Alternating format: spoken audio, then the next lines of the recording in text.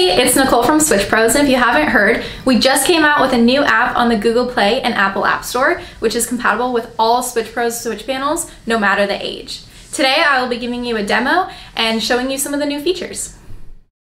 Once you have the app downloaded, you'll go ahead and open it up, and you'll immediately notice the updated aesthetics that we have designed. Similar to our old app, you will scan for local devices and select your panel. And once you've connected, you'll go ahead and put your password in. And something new that we've implemented is a Remember Me feature. So when you check the Remember Me box and you log in, the next time you log in, you will not have to put your password in. Now I'll be showing you a walkthrough of the settings, and our main focus was to enhance user maneuverability.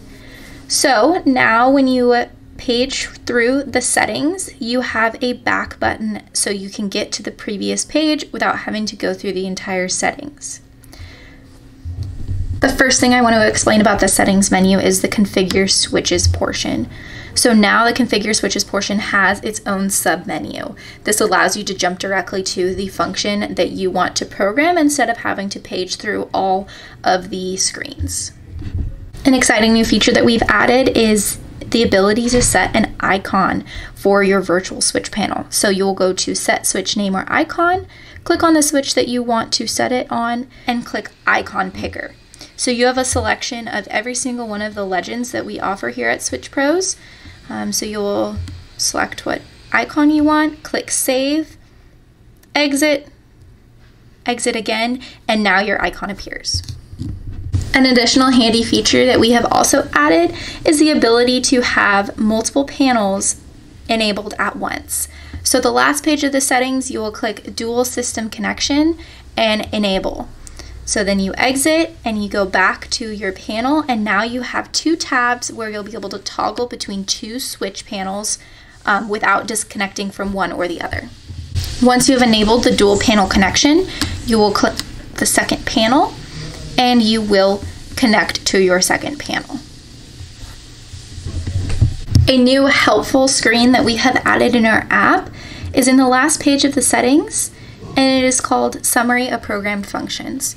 So this screen shows all of the programming that you have in your switch panel, including the device name, the password, all of the programs that you have set in your switch panel.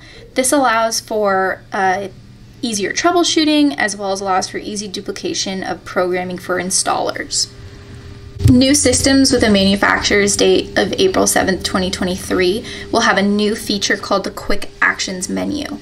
So this menu allows for the user to set a temporary programming for the switch.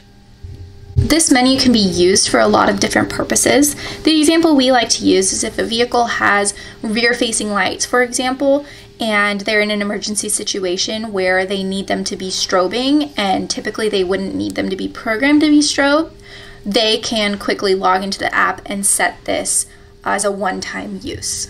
So to set a quick action function for a switch, you're going to pull up the quick actions menu and click on the switch that you want to set it for. So as you can see, you have a strobe function, flash, and dimming.